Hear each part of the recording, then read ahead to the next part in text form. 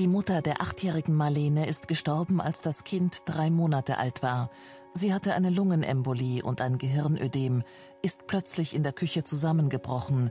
Der Notarzt konnte sie nicht mehr retten. Sie könnte noch leben, wenn sie nicht die Verhütungspille Jasmin von Bayer genommen hätte, meint der Witwer Christian Schock. Seit Jahren quälen ihn die gleichen Fragen. Wie hätte man es vermeiden können? Was hätte ich tun können? Man, man überlegt ja, wo der Fehler ist, wo, wieso muss, muss eine Frau, eine junge Mutter mit 30 Jahren von einer Sekunde auf die andere gehen, ohne sich verabschieden zu können.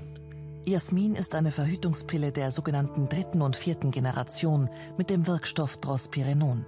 Sie ist beliebt, denn die Frauen sollen mit ihr nicht zunehmen und eine bessere Haut bekommen. Doch die Gefahr? Drospirenonhaltige Pillen sollen laut Studien zwei bis dreimal häufiger Thrombosen und Lungenembolien verursachen als die Vorgängerpillen. Christian Schock bereitet mit seinem Anwalt eine Klageschrift gegen Bayer vor, denn sie sind überzeugt, es war die Pille. Bayer sieht dies nicht als hinreichend medizinisch belegt an, doch die Obduktion von Astrid Schock hat keine anderen Ursachen ergeben. Sie hat nicht geraucht, hatte kein genetisch erhöhtes Thromboserisiko. Insbesondere, was Bayer sich absolut vorwerfen lassen muss, ist, dass hier einerseits bei der Markteinführung und konsequent eigentlich bis zum heutigen Tag immer wieder von einem positiven Nutzen-Risikoprofil hinsichtlich der drospirinonhaltigen Anti-Babypillen gesprochen wird es wird immer so getan, als ob das ein besonders ähm, sanfter Wirkstoff wäre. Als besonders gut verträglich hat auch der Frauenarzt von Katrin Weigele die Pille Jasmin empfohlen. Die heute 31-Jährige bekam vor sieben Jahren Schmerzen in der Brust und das Atmen fiel ihr schwer. Nach vielen Arztbesuchen wurde sie schließlich in die Intensivstation eingeliefert. Sie hatte eine beidseitige Lungenembolie, fast wäre sie gestorben.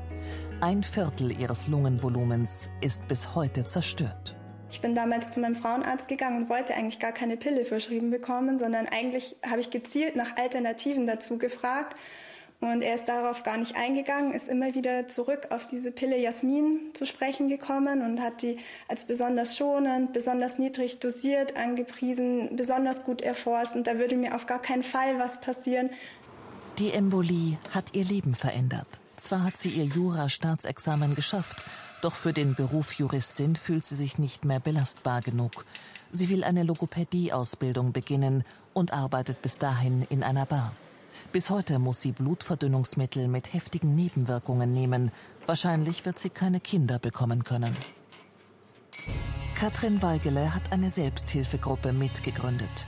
Über 100 Frauen stellen hier ihr Schicksal dar. Schwere Thrombosen und Lungenembolien nach Einnahme von Verhütungspillen der dritten und vierten Generation.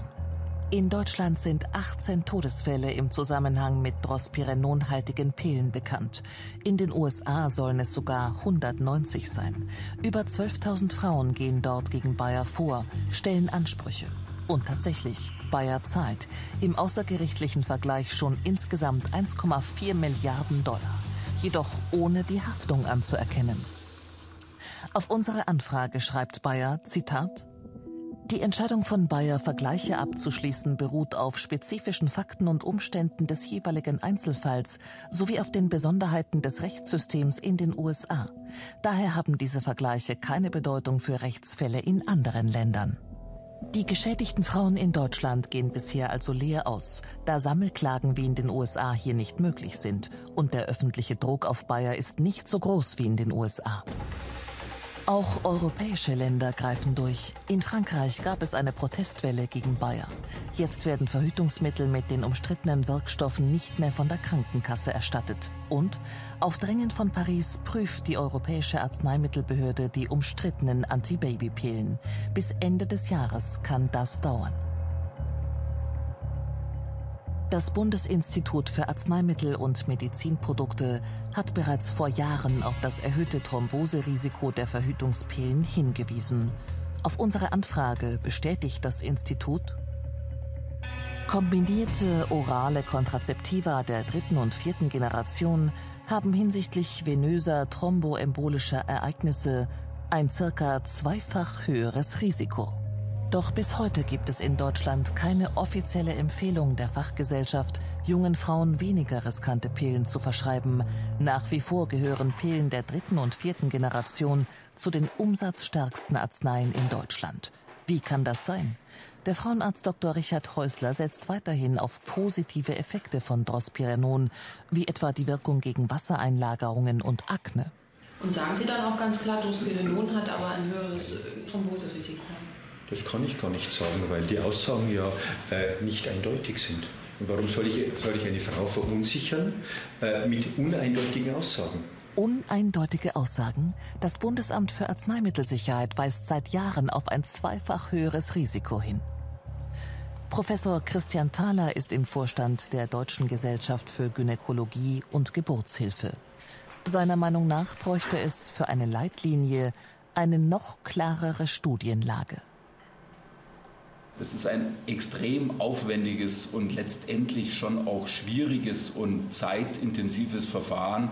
Ähm, ich würde jetzt nicht unbedingt darauf hoffen, dass da sozusagen sehr schnell äh, diese Aspekte da jetzt gleich in Leitlinien gegossen dann sozusagen vorliegen. Da ist der einzelne Kollege schon auch gehalten, sich einfach an aktuelle Daten zu orientieren. Die kleine Marlene hat mittlerweile eine neue Familie. Ihre verstorbene Mutter bleibt jedoch Teil ihres Lebens. Christian Schock ist überzeugt, hätte seine verstorbene Frau von dem mindestens doppelt so hohen Thromboserisiko ihrer Pille gewusst, hätte sie sich dagegen entschieden.